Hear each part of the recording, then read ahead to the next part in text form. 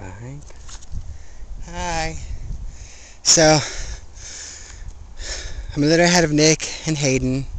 They should be coming down the trail any minute now.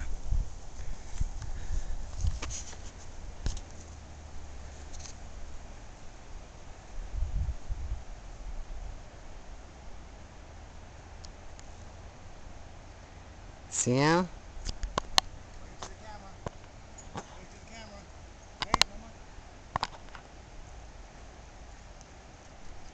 Hi, Grandma. Hi, Grandpa. Grandpa Stinky. Hi, Grandma. Love you guys. Love you guys. Bye. Bye.